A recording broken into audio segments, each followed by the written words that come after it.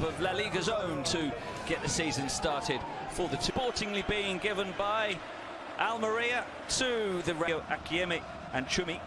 In midfield, Lucas Robertone, Samu. You know, uh, you said it, eight of their players were starting the final game of La Liga. Excellent quality, playing as a number 10. Let's see where he plays today, probably. Ancelotti has promised there will be more rotations this season from him, and that is the case. So a challenge for those players to maintain physical intent. Andrea Orlandi suggested, or does the fact they're going in a back five mean it'll be a little Steve Sadiq is already in a very good position. racing away down the left, a good position, made the run. But uh, the club owner, Turki Al Sheikh, has out to Chumi.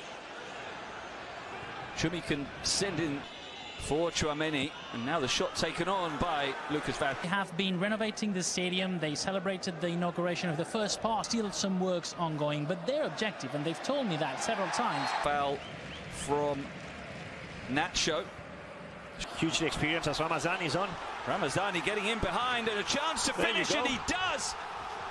And it's a sensational start for Almeria Largie Ramazani with a fine low finish. And even Thibaut Courtois couldn't stop it. What a dream start for Almeria. Six minutes in, they're leading the league and European champions Real Madrid.